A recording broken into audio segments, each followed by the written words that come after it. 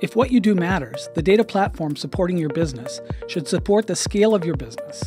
Whether you're caring for 10 million patients, processing billions of orders a day, tracking a galaxy of stars, or monitoring a thousand factory engines, each of these business specific workloads represents a different challenge. For example, suppose one workload involves a thousand small transactions per second, while another handles 10 very large queries per hour. It's hard to say which is more demanding, or how to scale to meet those demands. Each workload has two components that can be independently scaled user volume and data volume. By considering these separately, we can evaluate some scaling options. The standard way of addressing more demanding workloads is by scaling vertically. In essence, this means making your server more powerful so it can keep up with the workload. For example, if your server's cache isn't big enough, you can add more memory. Vertical scaling is architecturally straightforward and can be very effective. But premium hardware comes at a premium price.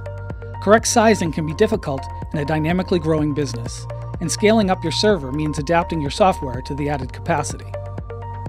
One such adaptation implemented by InterSystems is parallel query execution, which helps our platform take effective advantage of large core counts, built on a flexible infrastructure that maximizes CPU usage by spawning one process per CPU core. This vertical scalability feature is most effective with heavy data volumes, such as analytic queries that make large aggregations. When further vertical scaling is not the answer, data platforms can also be scaled horizontally by clustering a number of smaller servers. That way, you can simply add more servers as your workload grows. Scaling with commodity hardware can be less expensive than premium equipment. Horizontal scaling also fits very well with virtual and cloud infrastructure. Additional nodes can be quickly provisioned as needed, or decommissioned if the workload decreases. Horizontal clusters do require significantly more advanced software. Let's take a look at how InterSystems Iris data platform addresses both user and data volume. First, consider a situation in which the number of users grows continually until it gets too big to handle with a single system at an acceptable cost.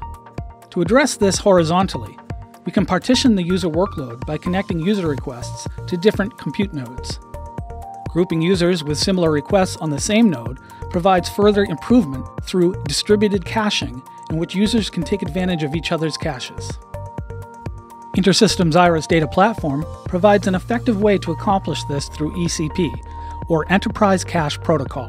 By managing a distributed cache, ECP lets you partition users across application servers sitting in front of your data server. Each application server has its own cache, which is automatically synchronized with the data server, so you can add more servers to handle more users. Of course, this is all entirely transparent to the user and the application. Now let's turn to horizontally scaling data volume. Today's data volumes can be very large, and if they are queried repeatedly, the working set can outgrow the server's cache, which is very bad for performance. In this case, we can horizontally scale the data platform by partitioning the data volume.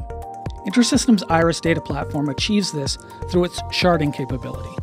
Sharding partitions a table by row into small pieces which are distributed across a number of data nodes. Queries against the table are decomposed into multiple subqueries to be run in parallel on the shard servers. The results are then combined and returned to the user. With sharding, the cache's size is scaled horizontally. Adding a shard server means adding dedicated cache for more data. As with ECP, sharding is entirely transparent. A flexible data platform should let you scale independently for both user and data volume. And InterSystems Iris does just that. For example, if you use sharding to scale your data volume, you can add ECP application servers to scale your user volume as well. InterSystems Iris Data Platform, scaling with you as you grow, because what you do matters.